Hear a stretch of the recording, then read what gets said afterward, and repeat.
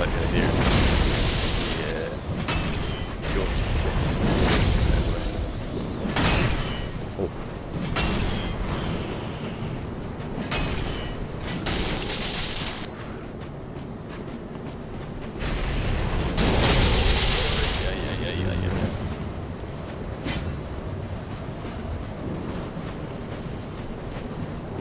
Oh.